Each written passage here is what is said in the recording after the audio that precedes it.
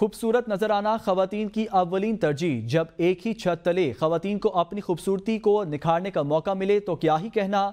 तो इसका हल निकाला डर्मा केयर ने अपने क्लिनिक का आगाज़ करके। इस्लामाबाद से जहदा राव की रिपोर्ट देखते हैं। सजना संवरना खातन का खासा।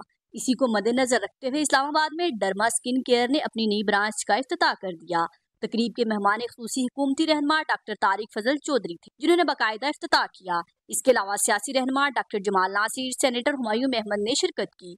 डरमा केयर की सरबराह डॉक्टर दुरे शहवार का कहना था कि डरमा केयर खातन की स्किन को मजीद बेहतर बनाने के लिए काम कर रहा है।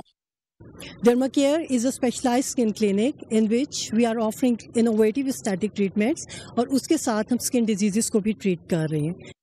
दूसरी जानब खातन का कहना था की डरमा केयर की प्रोडक्ट तसली बख्श होती है। मैं इनके प्रोसीजर से बहुत ज़्यादा सेटिस्फाइड हूँ तो मैं आ, बहुत खुश हूँ और स्पेशली खातन के लिए ये सबसे बड़ी अपॉर्चुनिटी है कि यहाँ पर आएँ अपने प्रोसीजर एक स्पेशलिस्ट डॉक्टर से ले सकती हैं और उनसे सेटिस्फाइड भी हो सकती हैं।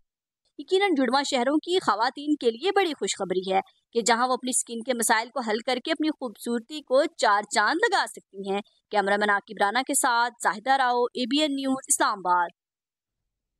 मलका कहसार मरी को सर सबजो शादी।